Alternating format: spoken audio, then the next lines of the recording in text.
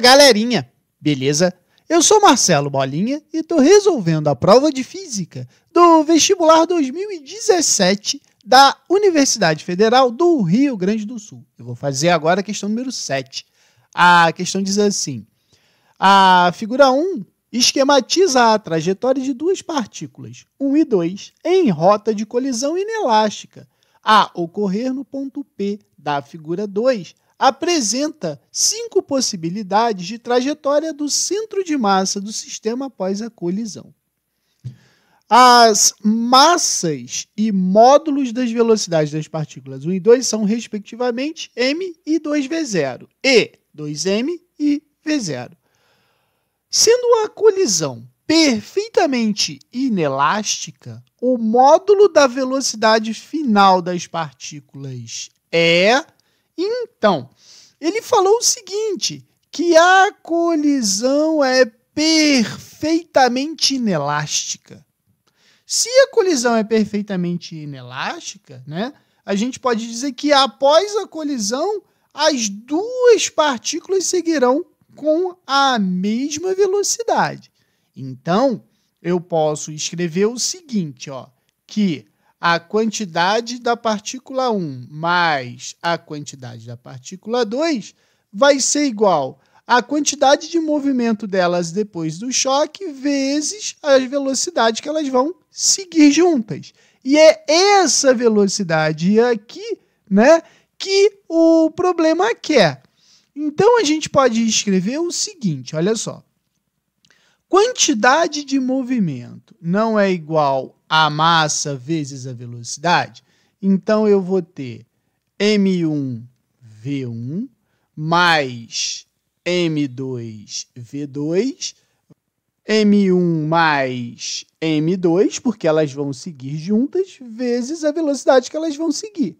Porém, nesse caso aqui, a gente tem que ver o seguinte: como o choque é um choque onde eu tenho um ângulo, eu tenho que analisar a projeção dessas quantidades de movimento.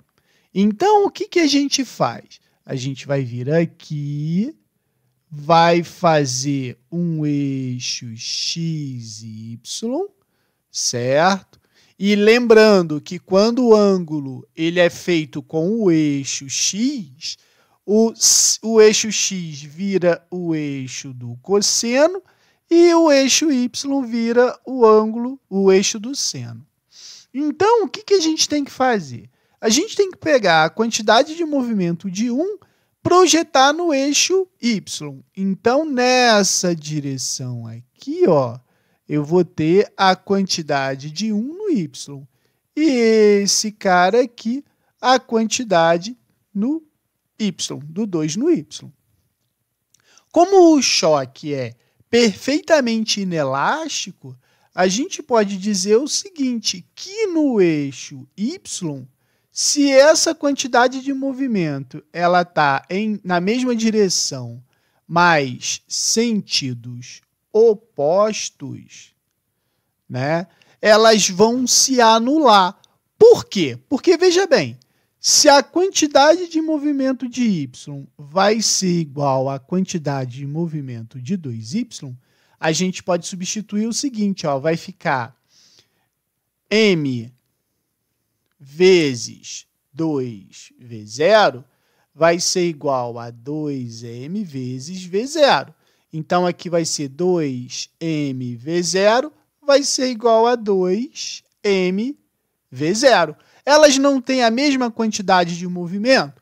Então, se elas chocarem né, frontalmente e inelasticamente, elas o quê? Se anulam, beleza? Então, no eixo X, elas vão se anular. Agora, eu tenho que analisar, então, o que vai acontecer no eixo X. No eixo X, eu vou ter a quantidade de 1 no X e a quantidade de 2 no X.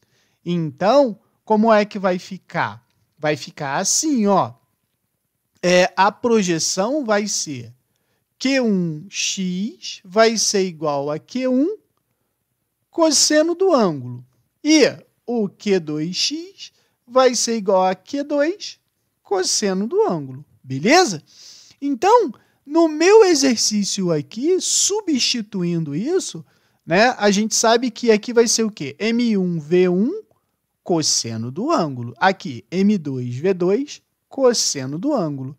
Então, vai ficar M1V1 vezes o cosseno do ângulo mais M2V2 cosseno do ângulo vai ser igual a M1 mais M2 vezes V. Bola, por que, que aqui não entra o cosseno? Porque esse aqui já é após o choque.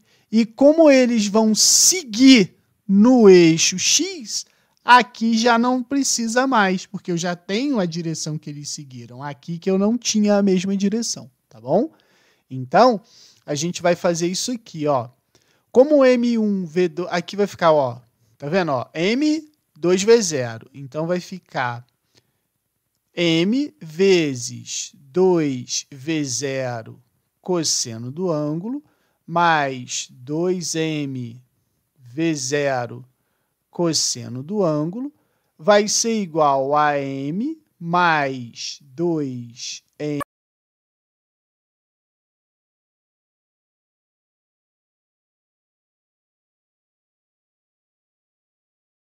vai ficar 4V0 cosseno do ângulo divididos por 3, isso é igual à minha velocidade. Como ele quer a velocidade após o choque, é 4V0 o cosseno do ângulo sobre 3. 4V0, né? 4 terços de V0, cosseno do ângulo. Resposta, letra E. Beleza? Qualquer dúvida, deixe nos comentários que eu te respondo.